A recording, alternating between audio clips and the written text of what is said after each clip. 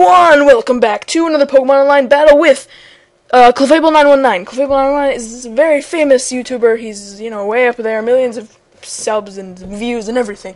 He's, um, yeah, and he's a lot higher than me. But, um, he is doing Floor Sky, which is pretty cool. I, I found it funny because we are both doing Floor Sky. Not a big deal, I just went him on Skype. Hey, you think we can get a battle? Very desperately. Not really, but, um, I did so to get battle, he sends in his Salamence. Uh, he gets the Intimidate off. I go for obvious fake out. I don't know why I uh, didn't switch out or something, because I'm very stupid. This is before I started thinking about the matches I did. This was one of very early battles, but I did get pretty lucky, and even my stupid moves got me. I think my stupid moves got me lucky. So I go into Donphan to get my rocks up as he switch. Uh, he goes for Thunder Wave on Donphan as I switch into it. Then I go for rocks as he switches to Rotom Wash, and then I don't know why I go into Vaporeon, but I do as the, he goes for with a Will-O-Wisp. I don't know why he didn't stay in and charge beam. I think he was over predicting. I don't know because I played really bad. But his Sigilyph uh, thinks he can set up all day on me, but I sub up and then I roar him into his Terrakion. He doesn't switch out of his Terrakion. I can go for his Scald. Almost kill him. The burn would have been nice because then I could have gotten him down and he would have lost. But um, uh, he's. I know I can go into Donphan, take any physical hit, go for an Ice Shard. He obviously predicts my Ice Shard, as you can see in a second. Do do do do do do do do do do do do do do do do where the hell is the next move? There it is. He goes on Rotom Wash, taking my Ice Shard like a monster. I don't know why he left his. I guess he didn't want to leave his Terrakion as fodder, because Terrakion's pretty good. I love. I actually really like Terrakion, but it's too OU for me. I play UU, even though this is half OU team. But um, I go into Porygon 2. I know I can wall this Rotom Wash, and this is this is pretty amazing.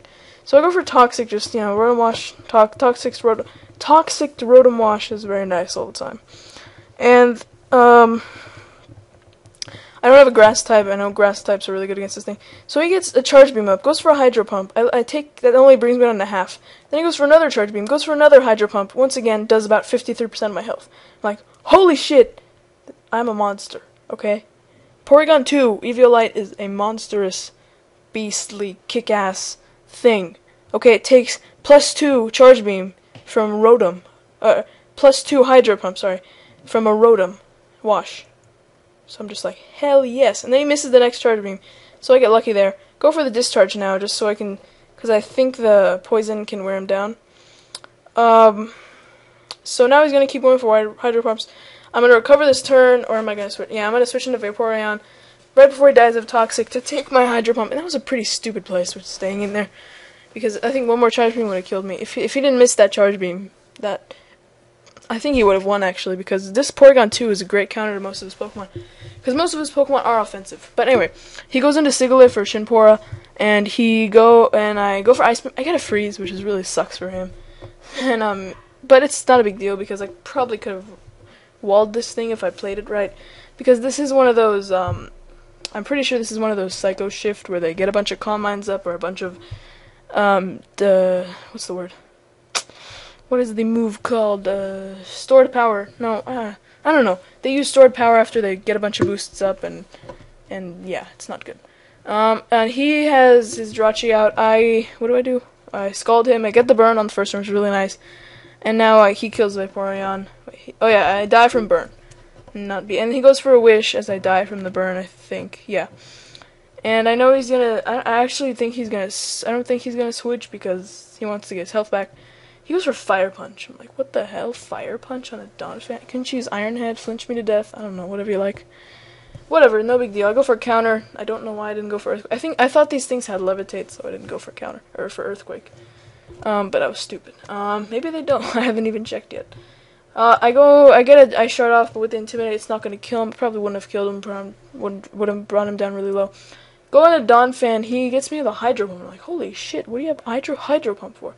I go into Hariyama. I don't know how he predicted my Ice Punch. I mean, maybe it's too obvious. I always thought Hariyama Ice Punch was really unexpected, but I guess not. So he Thunder Waves my Porygon 2 as I bring it in, because he knows he knows I'm gonna switch. Then um, he wishes as I recover. So we're both healing. It's like a healing fest over here. Iron Head. He he goes Iron Head. He's burned. Not gonna do anything. Then I go for discharge, and he switches out, knowing that Ironhead's not doing shit, and I recover for no real reason, and his wish re- heals his Mamoswine. I thought his Mamoswine was at full health. Whatever.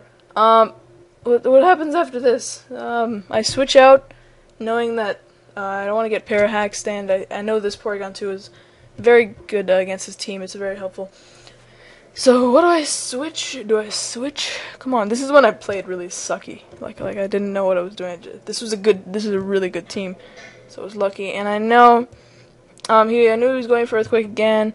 I'm faster, or he goes for Ice Shard. Doesn't do it. Oh yeah, I had a sub up right, right. As he went for Earthquake, I had a sub up. Goes for Ice Shard. I go for Heat Wave. Uh, Actually, maybe I said that wrong.